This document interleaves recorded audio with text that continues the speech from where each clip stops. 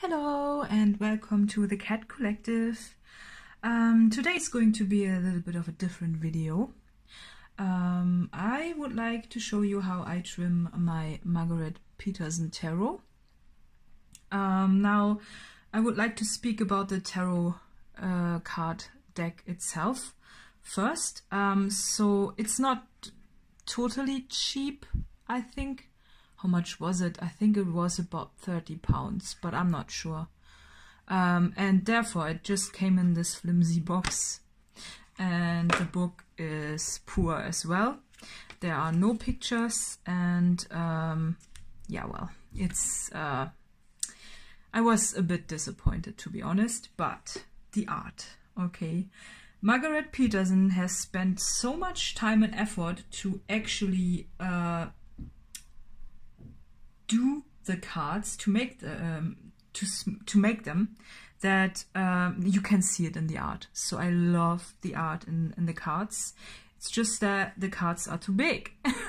um, I didn't use the deck um, as much as I would love to because it's too big. If you compare it with the Moonology deck, um, you know, that one, it's even bigger than that. And the Moonology deck is already big enough, right? Um, yeah, and I'm very close to achieve my goal of cutting those cards. Um, yeah, so I've decided to trim them. And since um, the book didn't come with images, um, because um, like I, I can't couldn't uh, cut the names um, of of the cards, and I think um, that's the end result, and I very much like it um, the way it is right now. Um, so um, I've decided to cut them just like that, you know. Um, it was a bit of a struggle first because I tried it um, to do it with uh, scissors and a cutting board and uh, not scissors, um, a knife and a cutting board and a ruler, but uh, this was a catastrophe um, because um, the ruler always slipped and therefore I went to the classic classical method, um, as you can see, classical scissor does the job as well. and um, for the edges, I use um, this edge cutter. It comes, uh, you can cut in three edges. I use the size M. You just put in the card like that, and then you you do it, and that's that. Yeah, and I'm not all through, as you uh, can tell, but I'm already so happy with the first results of the first cards. It's so much better because the border is just too much. And even the back has a border. Who does that to a deck? Like, who? Right? Um, and now here, um, I do still have this uh, border there, and I will not cut it off. But I don't mind because I don't um, read reversals anyways, because for me, tarot is reading the art and not um, the traditional meanings. Um, it's also in this deck highly recommended. I'd think uh, think to go with your intuition because, um, well, with every deck, you know, whenever the art changes, um, yes, Rider Waite, it's the classical one, but um, when you look at different arts, um, you just get a different vibe out of this, and I think it really much trains your intuition a lot. So, um, yeah, I'm gonna cut, cut uh, one card on camera. wish me luck. um, it's always a little bit, uh, let's say, uh, my heartbeat is slightly increasing whenever I'm doing this. And now uh, my uh, phone also rang, so that was nice. Um, but we will get there. It's not perfect, but you know, I think about uh, when you cut a deck like this, when you trim it, it's not particularly about making it perfect. It's more about personalizing it and giving it your own vibe. And since I wasn't using it um, in this size, it came into my house. I think it was the right decision to do. I'm already so happy with this those few cards that I already have. It's just the work, you know, 78 cards. that's a lot of work. But since I made my own tarot deck already, um, this little bit of trimming is nothing compared to laminating, uh, like, I don't know, and drawing, of course, 100 cards? I don't know how many are in my deck currently, but I, I certainly did draw on 100. I uh, removed a few from my deck. So, Okay, and that's the cutting of the edges. Oh, that's so easy. um, yeah, I love it. Um, I just currently have only one deck to trim, so I didn't want to buy a paper cutter. You could also go for that if you want to do this to all to your, uh, of your decks, but all the other decks I have, they are right the way, the way they are. Yeah, there we go. So, the finished product. Um, yeah, just have to repeat that a few more times, right? I love it. Look at this. This looks so much like a Pink Floyd album cover or something like that. I don't know. And it's the moon. Um, yeah, so I really love the art. Um, I'm going to flip through it when I'm finished um, just to show you the art because oh, it's so lovely. Um, yeah, I might not finish it today. We will see how it goes. I don't want to rush this. This is, uh, if I fuck this up, I am fucked, right? Uh, did I say fuck? Yeah, okay, it's fine. Yeah, anyways. so, um, yeah, uh, wish me luck and see you in a second. Yep, welcome back. Um, yeah, so I've, I've done it yesterday, actually. And, uh, it was dark. Um, when I finished it and I did it with uh, this tool, right? Because, yes, a little bit bigger and yeah, worked fine. So I didn't make any mistakes. Therefore, um, yeah, the deck is now finished. So let's flip through it. Um, as I said, I'm not going um, with the traditional meanings of any cards, but I really um, enjoy the the card stock, how it looks like. I mean, um, the feathers are the swords, I think, and um, because this is clear clearly three of swords, so it's, um, yeah, but a little bit spooky, right? Times. Um, and as you can tell, I think it's a very advanced deck, you know. But look, here's a, a beak from a crow, I think. And this is a butterfly, so you can get your meanings out of those cards. It's just that it's not that easy. Uh, look at this creepy figure.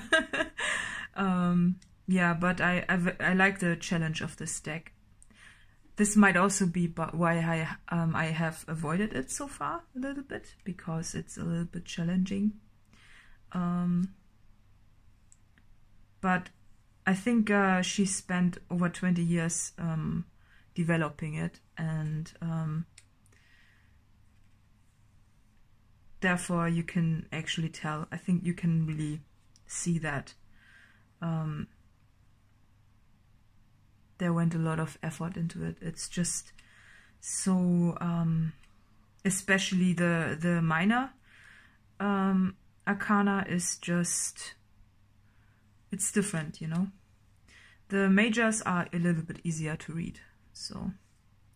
Um, but you can grasp that there's a color scheme around it, so therefore you can really uh, also read the colors a little bit how you how they make you feel and everything. So I would love to see the the original artworks. I haven't read into it, but um, I'm sure they're pretty intense as well. But for now, we can work with those cards, right? yeah. I'm so happy with the deck now. So I highly recommend that you bond with your deck and that you cut it um, and transform it so that it fits your needs. It's just something different, you know. Um, I also looked up the price, so it was uh, I think uh, yeah a little bit under under thirty. Um, and I, I was questioning if this is even the original, but I, I bought it off uh, the Amazonas, you know, and um, I don't think that there's another version of it out there. So, um, not that I've um, seen it. I, I've seen that there are two prices, so you can also put something in your basket which is over 70, but um, no, no. um, yeah.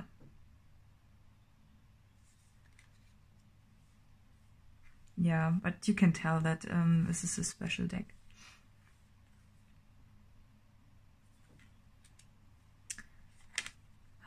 Cannot believe that I finished it in one day, but um, I almost um, cut myself into a zone and then it was so easy um, to do it. It's not perfect, but um, it's mine, right? Uh, yeah. Um, it's tempting to actually start a collection of tarot cards. Um, I've noticed that. Um, and I think um, the world needs more creators who actually make cards. So I really hope that I will one, be one day one of those creators who also has got a, um, you know, um, an own deck, like uh, that everybody can buy something printed, not handmade. Would be nice, right? Um, it's just um, when you combine art and spirituality, you really get um, it goes deeper than just drawing, you know. And um, for some weird re reasons, even though my my own deck um, is very simple, I would love to create something which has more depth and is a little bit more noisy on um, as an image, you know. Um, even uh, those images sometimes are a little bit for me to abstract. So I, you know, it's I think for tarot decks, decks it works best if you have a lot of layers and just a lot of um, busy um, artworks. But it, it, all depends on personal taste because I've seen some very nice decks uh, which just had line art. So it's not, I, I mean even my own um, deck. It's uh, simple, but it's good in its simplicity. Woo! and um,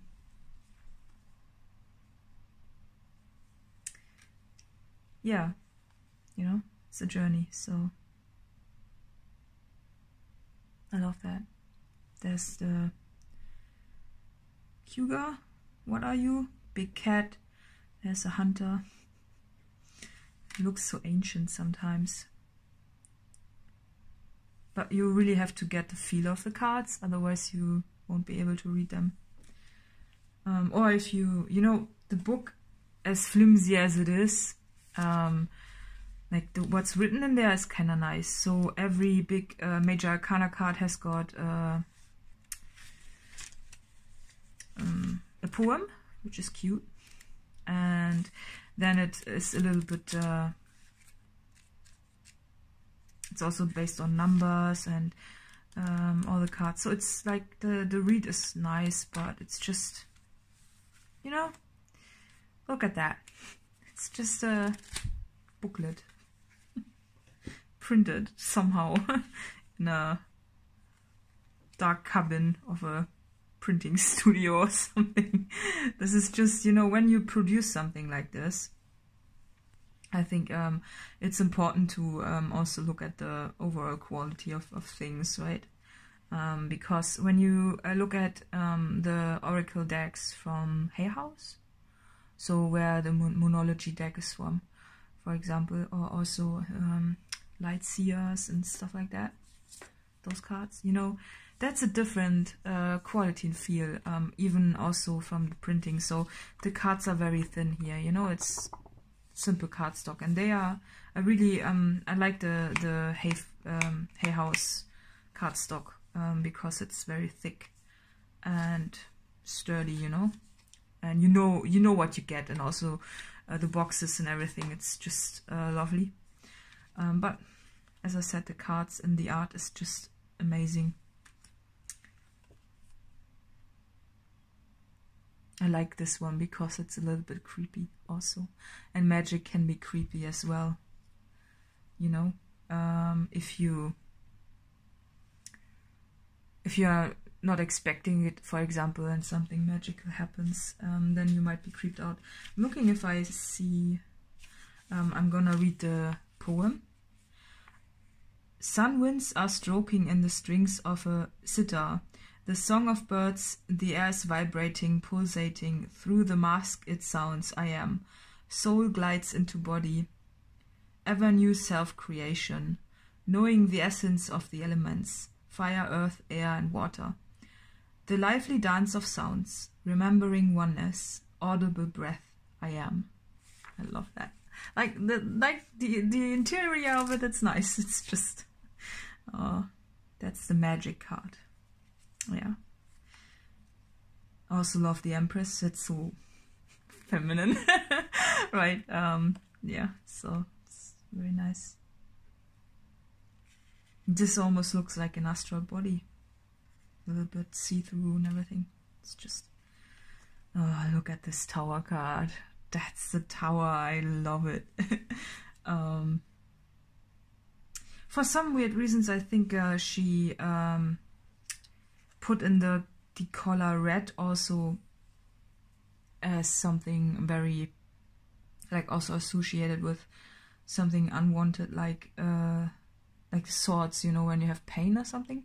And it, I guess it is bec- uh, you can associate it with this because of blood, for example, or something like that.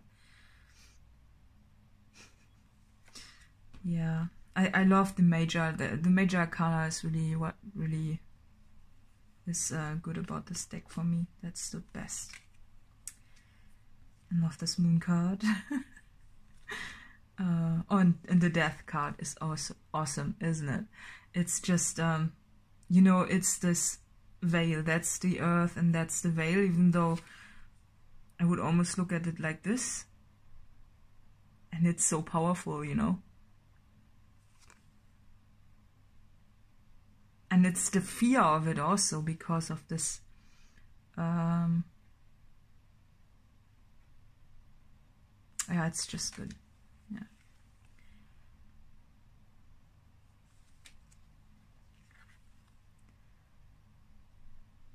The devil card is also very... It lures you in, right? Like the real devil.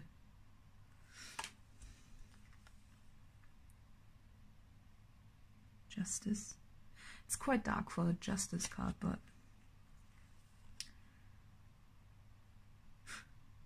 the sun and the moon are holding him in place. I like the swirl. No, it's just good, isn't it? Now I can use my deck. That's so perfect. And also knowing that um, I've modified it, it is just um, something else. I think the Fool card is very interesting because there's so much turbulence and this is also kind of turbulent. It's a different Fool.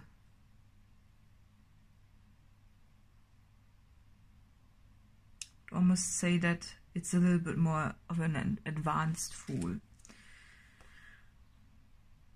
A fool with more wisdom.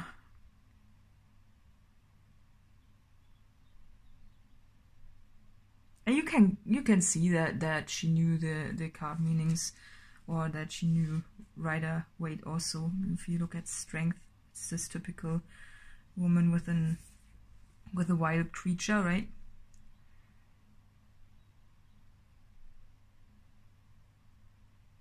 I don't know, I just can look at this for a long time and I see things. And the sun, yeah, the sun. um, there's a couple or something there. Yeah, I like that. You know, when you don't see everything on the very first glimpse of it, you just can guess it. And then you have to look a little bit further and see more that's good. Yeah, so that's that. Um, I I hope you enjoyed my my modifications and yeah so um, you might see this deck in my in some of my future readings as well. It has been added to the table. Yeah um, additional info is in the letter box below. And see you next time. Bye bye bye bye bye